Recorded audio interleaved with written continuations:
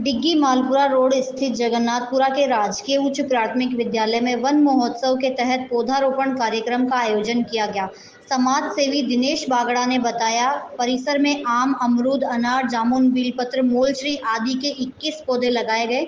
वहीं अभियान के तहत ग्राम पंचायत के अन्य गाँवों में भी इस पौधारोपण का आयोजन किया गया। इस अवसर पर विद्यालय के प्रधानाचार्य सीताराम रेगर, गोपाल गुजर, राजूलाल बागड़ा, लालचंद कटारिया ओम प्रकाश कटारिया महेंद्र कटारिया कैलाश कटारिया सहित शिक्षक गण मौजूद थे। और एक प्रकृति और पर्यावरण संरक्षण को लेकर आज जगन्नाथपुरा ग्राम पंचायत के राजकीय उच्च प्राथमिक विद्यालय में पौधारोपण किया है। पौधारोपण स्कूल के प्रधानाचार्य सीताराम जी के सानिध्य में पौधारोपण किया।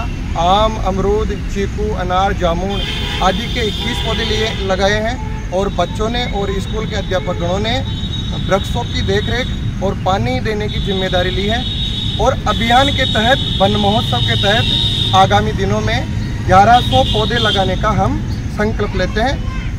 भारत माता की जय। पर्यावरण बचाओ, पेड़ लगाओ।